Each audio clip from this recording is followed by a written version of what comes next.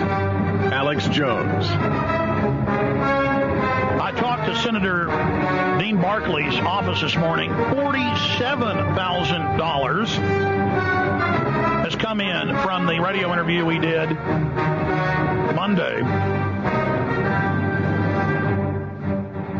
with Governor Jesse Ventura and former Senator Dean Barkley, who he appointed for a month after the tragic death of Paul Wellstone. Now, we're not going to panhandle too much here today. Governor Ventura uh, just told me through Dean that he wanted to thank everybody because he said that's why he got out of politics, because he can't stand raising money. But the other two shysters raised over 30 million. Dean only raised 50,000 previously. Now he's raised almost that much, and he's got the TV ads on today, and he has a chance of winning. So we're going to talk about that in 30 minutes when Dean comes on. We're going to talk about a host of other issues about the election and 9/11 with Governor Ventura while we have him for the first 30 minutes before uh, Dean Barkley. SenatorBarkley.com is the website. Uh, joins us, but uh, uh first off, uh, Governor, um, great audience, huh?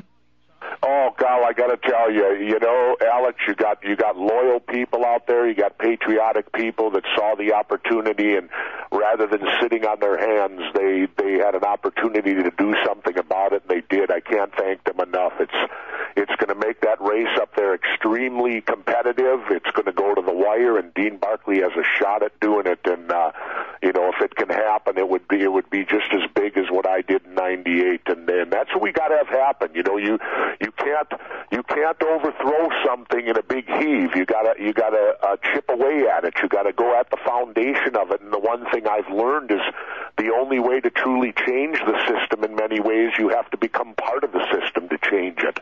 And that's what we've got to do at all local, statewide, as well as federal elections. Absolutely, Governor. Well, we got Dean coming up in about 30 minutes to join us. But uh, first off, I wanted to read you part of an AP headline. Uses for the 700 billion bailout money ever shifting. And uh, they go on to say first the 700 billion rescue for the economy was about buying devalued mortgage-backed securities from tottering banks to unclog frozen credit markets. Then it was about using 250 billion of it to buy stakes in banks. Then the idea, which they've done now, was that the banks would use the money to start making loans again.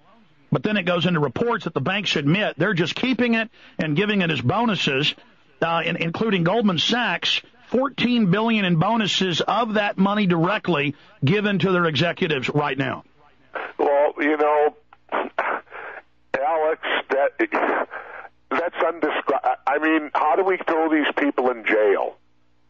I guess that's what it's going to have to get down to something somebody's going to have to come forward and start putting people in prison for things like this. This i mean to me that that's unbelievable but i suppose they covered their butts. They probably gave it to them with no strings attached so there's no that's legal it. recourse. I'm not sure. You know i wasn't there to give that to them i'm i'm on the sidelines just like all of us reading about it and reaching back and watching my wallet getting well you're right. my pants. You're right governor. Yeah uh, losing huge money in your 401k i would imagine and any stocks you've got. No you're absolutely right. The bill said no one can review it. It's all secret. No one can look at it. White House press secretary last Friday said it's secret. You can't look at it. But then the banks openly announced that they're giving it as bonuses.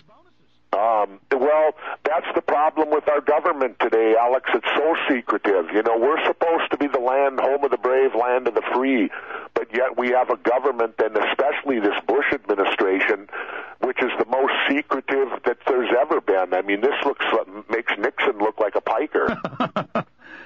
Man, it sure does. Well, you, you know what? You, you know that just because they can get Congress to say they can commit crimes, that that's what Nixon said. Well, the president, when the president commits a crime, it's not a crime. This is a crime on its face, and they can claim that they've all been given pardons by Congress, but uh, that doesn't float. We need citizen grand juries, Ron Paul has said, uh, to go ahead and, and start investigations and indictments.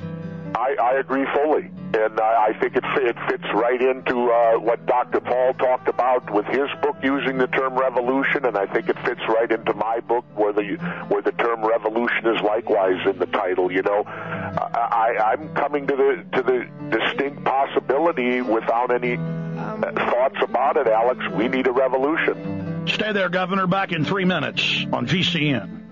Well, it's been great. Uh, having Governor Ventura be such a big part of the show the last few weeks. His third visit with us, and not just the last few weeks. But he's off shooting a bunch of TV pilots and about to go back to Mexico, but we'll really enjoy it when he gets back.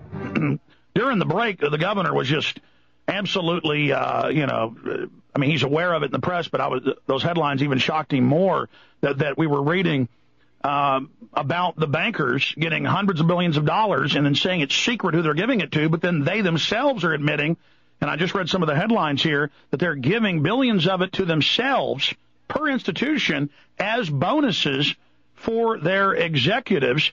And then the White House and the Treasury Department have released the documents, but they're 90% blacked out. Governor? Well, Alex, I haven't seen this. You know, if this is all true, and I, I have no reason to believe it's not true, um, I, I'm speechless over that. I mean, this is public money. This is the public domain. When I was governor of the state of Minnesota, we did nothing under the table. There wasn't anything going on, you know, that the public didn't have a right to know about. And in fact, when I left office, we turned every document of my entire four years over to the Minnesota archives, where anyone can go there and read anything, including bad emails if they want to read about them. But I mean, this is not what our government is supposed to be. If this is all true, uh, you know what? I, I'm to the point now. I'm urging everyone to vote against every incumbent.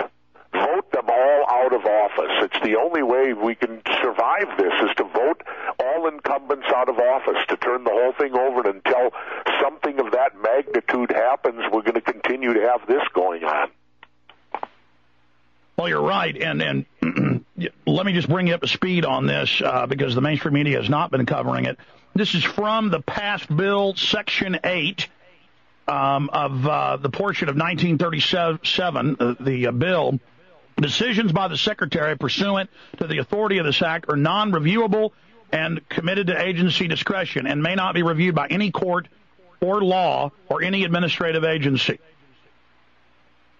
That's what it says right in the bill? Yes, sir. That's uh, Section 8, and this was first reported by the Huffington Post, dirty secrets of the bailout, 32 words that none dare utter, but then it was picked up by mainstream media after that. You know, it, like I said, the only way we can do it is to take back our government at the ballot box. You got to vote all the incumbents out of office. Is my opinion. That's that's the way it needs to needs to and has to be done.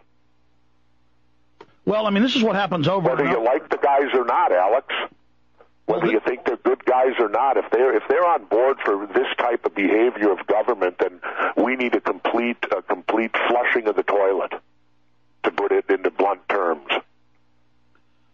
Well, that's definitely what it is. Uh, I mean, that's definitely what's in there. wow. Yeah, you know, well, thank goodness we got you out there reading it over the radio because I haven't had time to look at that stuff. I'm so involved in all the things that I'm doing, and I'm I'm caught off guard with it, Alex. Like I said, if that's what's in there and that's how the operation of our federal government's operating today, then uh, we most definitely better have a revolution and take our government back. Oh, absolutely. It, it's this happens in history over and over again where governments just go completely to seed and they the last official act of any dictatorship uh, is to loot the treasury. This is what happens in third world countries. Oh yeah, absolutely. And and well, let's remember, third world countries don't have a middle class, do they? No. And what are they trying to destroy in the United States today? The middle class. So what you have happening here is they're trying to turn us into a third world country where there will be only the wealthy and there will be only the poor. Well, I'm here Googling these terms because I want to find the video of uh, Perino, the uh, press secretary, saying, yeah, it's all secret. You're not allowed to see it. Uh, and uh, you can, uh, for listeners out there, you can just Google banking bailout documents blacked out, and then you can see on the Senate website where they posted them, and it'll say the top title, and then it's all blacked out. Well, what's the purpose of even posting it if it's blacked out, Alex? To just show us that it's blacked out? Yes. well, I just I just read the Associated Press where they uh, haven't doled out one bit of this to uh, any banks that are actually in trouble or to any mortgages, and and and the the banker heads are on the news saying we're just going to sit on the money and just keep it. And the minutes of Paulson's meetings he has every week with the banking heads and brokerage heads, those are secret. Well, you know, like I said, if that, if if if if that's the case and that's how secretive, I, I, to me, this this somehow has to be against the law, unless, of course, like you said, they specifically stated in the bill that no one could object or interject or anything. But you can't take public dollars and be secretive with them. That's a basic concept that I learned as a mayor. You know, when you're down at the mayoral level of government, the local government, you have to have everything has to be wide open. It has to be above board, and it has to be there for any citizen to be able to come and ask questions about it and receive answers about it. After all, Alex, it's our money. It is.